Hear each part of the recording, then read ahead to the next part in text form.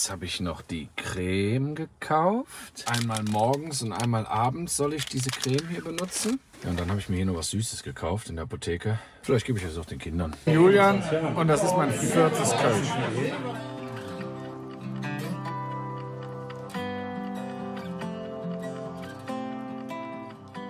Wunderschönen guten Morgen.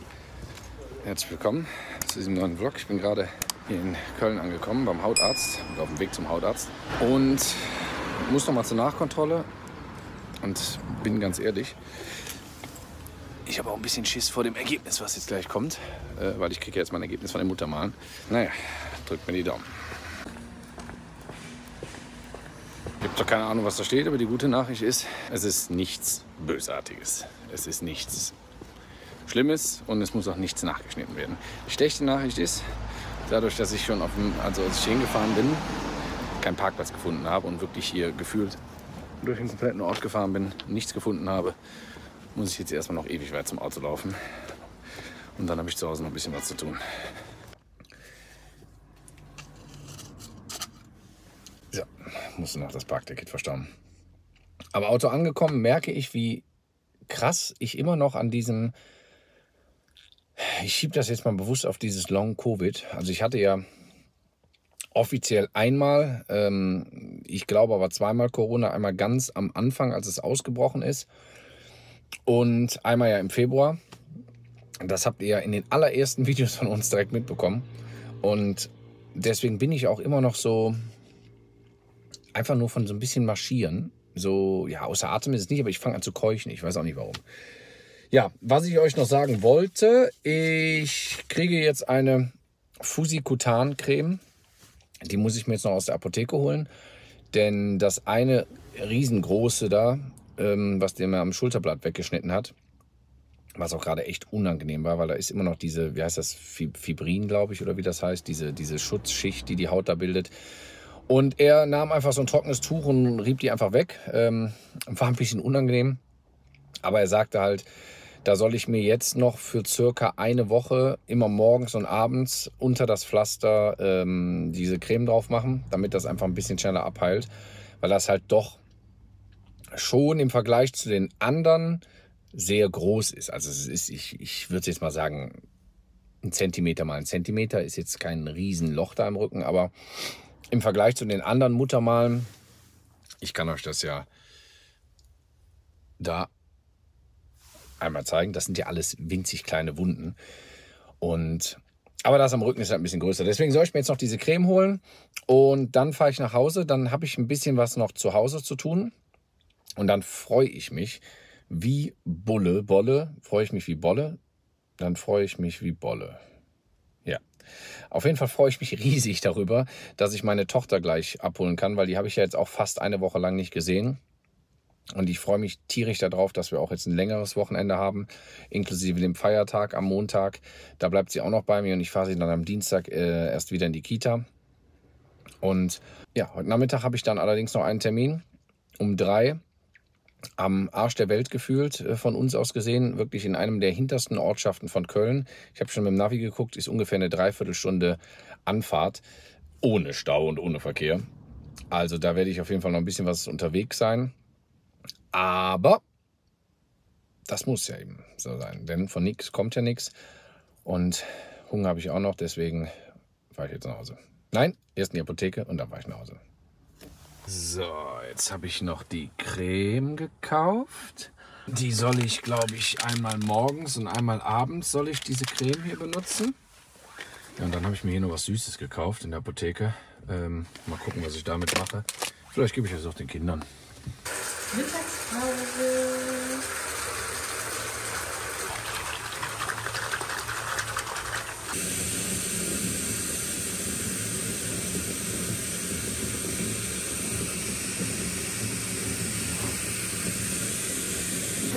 Ich finde, so kann man seine Mittagspause genießen. Und wie gut das riecht. Ich bin jetzt gerade am Kindergarten angekommen, muss aber noch den Kindersitz wieder. Der sieht aus. Naja, gut. Äh, den Kindersitz wieder einbauen. Denn als wir am Samstag auf der Hochzeit waren, haben wir ja Leute mitgenommen.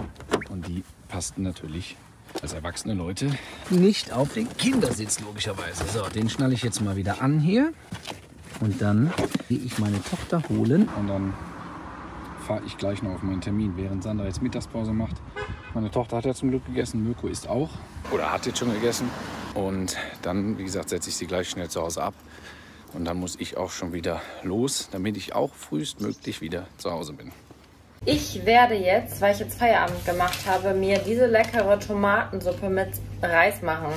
Irgendwie gefühlt in jedem Video oder jedem zweiten Video sage ich euch, es ist eine Kindheitserinnerung und diesmal ist es auch wieder eine Kindheitserinnerung. Denn diese Tomatensuppe oder vielleicht auch von einer anderen Marke, aber aus der Tüte auf jeden Fall, die Tomatensuppe mit Reis, die habe ich damals immer bei meiner liebsten Patentante. Das ist die beste Freundin von meiner Mama. Die hat mich nämlich früher einmal die Woche aus der Kita abgeholt. Und da habe ich ganz, ganz oft diese Suppe gegessen. Zumindest habe ich das so in Erinnerung. Wenn meine Mama jetzt das Video sieht, kann es natürlich passieren, dass sie sagt, ja, stimmt doch gar nicht. Oder hast du doch gar nicht so oft. Aber es ist ja meistens so, dass man als Kind andere Sachen wahrnimmt und sich behält, als, als es halt im Endeffekt die Erwachsenen wahrnehmen. Oder als die Erwachsenen sich das merken. Kinder legen da natürlich immer ganz anderen Wert auf Dinge. Genau, und deswegen mache ich mir jetzt diese leckere Suppe. Ich habe nämlich heute Mittag so lange in der Badewanne gelegen, dass ich es nicht geschafft habe, noch was zum Mittag zu essen. Das war nicht so gut. Ich habe da nur schnell eine Banane mir am Laptop reingezogen. Ich habe jetzt natürlich Feierabend, endlich. Und jetzt mache ich mir halt eben diese Suppe, weil ich doch irgendwie noch irgendwas brauche, aber auch nichts richtig deftiges essen kann, weil sonst habe ich später wieder keinen Hunger, wenn wir alle zusammen Abend essen wollen.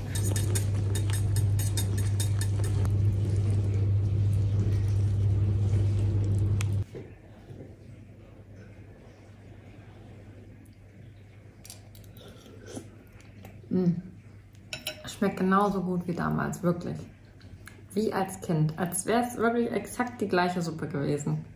Und dass die Bücher hier immer noch stehen, die habe ich ja verkauft über Momox, liegt daran, dass ich nur diesen Karton habe. Und für diese 1, 2, 3, 4, 5 Bücher habe ich leider im Moment keinen passenden Karton. Aber da ich noch ein paar Sachen bestellt habe für Mirkus Geburtstag, weil der wünscht sich ja so viele Sachen und unter anderem noch, ähm, was habe ich noch bestellt? Ja, hier so Mitgebsel, also für den Kindergeburtstag. Und da kommen noch ein paar Sachen. Deswegen, ähm, ja, denke ich, da wird schon sich irgendein Karton finden, wo dann die Bücher reinpassen. Aber bis dahin müssen die halt leider noch hier stehen bleiben. So, Lehrflück, jetzt muss ich euch ins jetzt sagen. Ich bin ja ein echter Kölsche Jung und ich war ja auch an vielen Örtchen hin Köln schon unterwegs. Ever. Jetzt habe ich zum ersten Mal ein neues Fädel für mich entdeckt, nämlich Köln-Widdersdorf. Ich muss wirklich sagen, ich war noch nie. Ich weiß noch nicht, was mich hier hin hätte trecken sollen. Aber ist halt so. So, jetzt hat er auch uns gehört, wenn wir hier in Köln schwart. Ich würde sagen, ich jank jetzt ins Rennen zum Termin und dann drückt er mir die Dömchen, dass das jetzt weht, weil der Junge muss ja Geld verdienen. Ne? Von nichts gehört nichts, ist eins der Kölsche Grundgesetze. Und wenn der Termin erfolgreich war, dann wäre das ganz schön, weil ich habe morgen noch einen Termin und dann ist für mich auch Wochenende. So, das reicht auch. Ihr habt es mal gehört, weil normalerweise, ich strenge mich immer für unsere Videos hier extrem an, also ich muss zwar sagen, ich spreche jetzt zu Hause kein Platt äh, mit, mit Sandra sowieso nicht. Die versteht zwar viel, aber sie spricht es nicht. Und wenn der Gegenüber es nicht in der Form spricht, dann, dann kommt man noch nicht dazu. Aber ich finde es halt echt geil, wenn man mal nach Köln fährt oder auch in Bonn. Die uralten Bonner haben halt alle noch dieses Platt. Und ich bin sehr traurig darüber, dass diese Kölsche oder generell diese rheinische Mundart so ein bisschen ausstirbt. Und jetzt habe ich genug geschwart. Jetzt hier den Wege.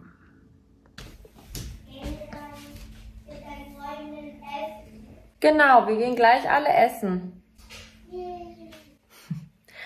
Also, die Kinder haben gerade Dunkelparty gespielt.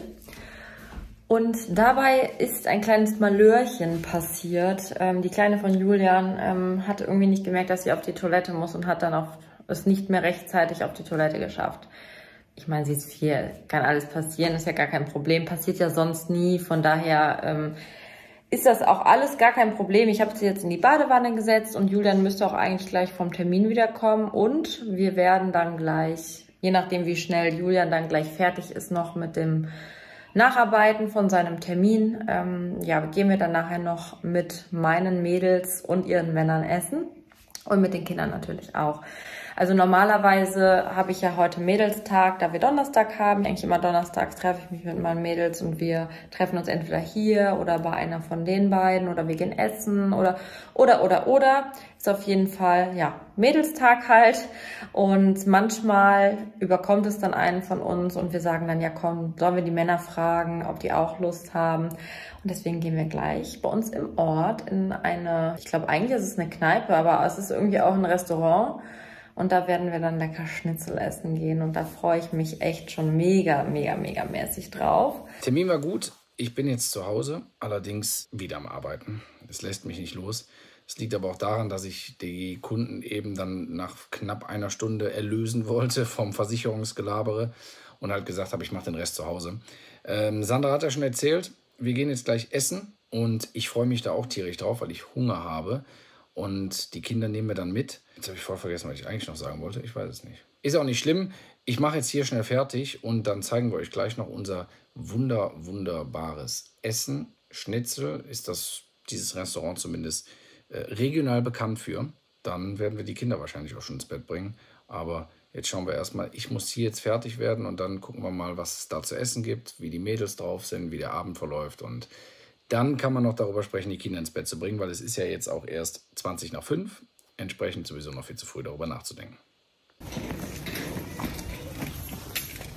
Es ist doch schon kälter, als ich es eigentlich gedacht habe. Deswegen habe ich mir jetzt meine Winterjacke angezogen. Mirko wollte sich schon dicke Handschuhe anziehen, als würden wir irgendwo nach Winterberg fahren, ins Skigebiet. Und ja, die Kleine hat auch eine Mütze an immerhin und auch Julian hat seine dicke Winterjacke an. Hallo.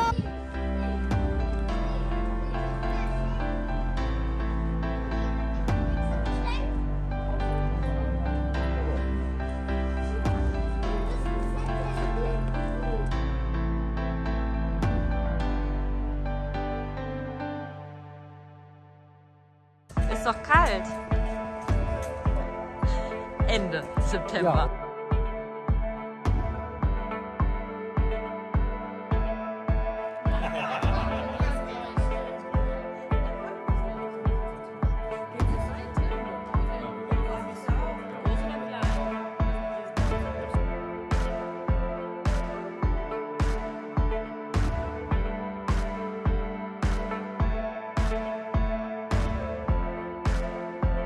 Bin Julian und das ist mein viertes Kölsch.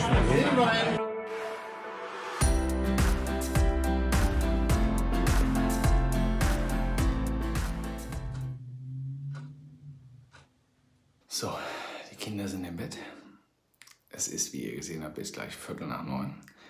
Ich bin so vollgefressen. Sandra liegt mittlerweile schon im Bett.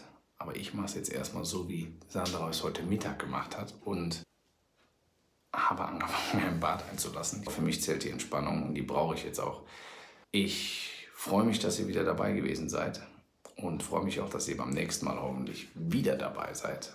Und dann würde ich sagen, dadurch, dass wir im Moment so viele Vlogs online stellen, spare ich mir das in jedem Video zu sagen, drückt auf Abonnieren, auch wenn ihr es tun solltet auf jeden Fall. Und dann würde ich sagen, habt einen wunderbaren Abend, eine tolle Woche, ein tolles Wochenende, wann auch immer ihr dieses Video seht. Und wir sehen uns beim nächsten Mal. Macht's gut. Ciao.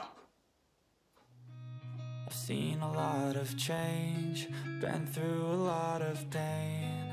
Some things are not the same as they were a year ago. But all will be okay. I'm